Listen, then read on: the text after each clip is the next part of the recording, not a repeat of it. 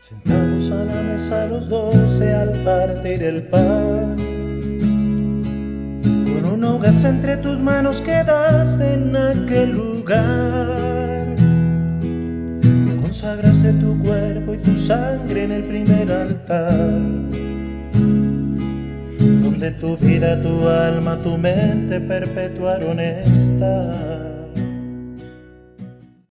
¿Qué tal, hermanitos? ¿Cómo están? Bienvenidos a su rincón preferido, el Rincón de Jesús. Y bueno, estoy aquí compartiendo cantos para la liturgia eucarística y en especial para esta solemnidad que se acerca de Pentecostés, que significa 50 días después de la Pascua.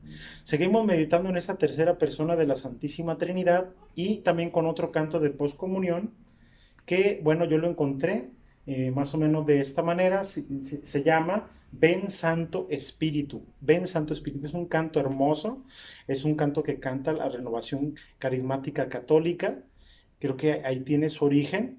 Y bueno, espero que lo disfruten muchísimo y puedan ponerlo en su repertorio como poscomunión. Recordemos que este canto no tiene las características ni de comunión, al ser eh, sustentado en, las le lecturas o un canto eucarístico. Por lo tanto, que nos ayude a meditar acerca de este misterio.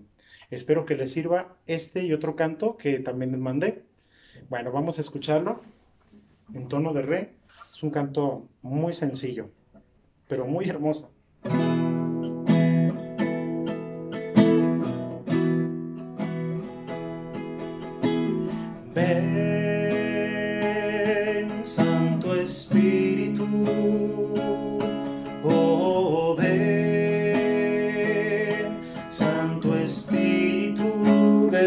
Dios, y renueva mi corazón.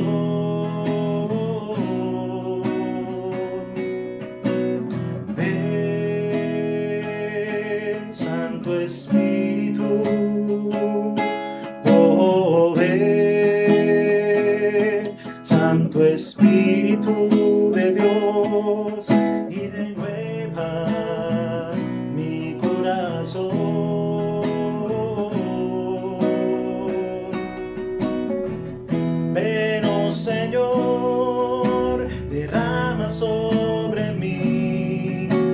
Presencia que sea un torrente de agua viva para llenar mi alma vacía. Ven y lléname, Espíritu de Dios. Ven, oh Señor, derrama sobre mí tu presencia, torrente de agua viva para llenar mi alma vacía. Ven y lléname, Espíritu de Dios. Ven y lléname, Espíritu de Dios.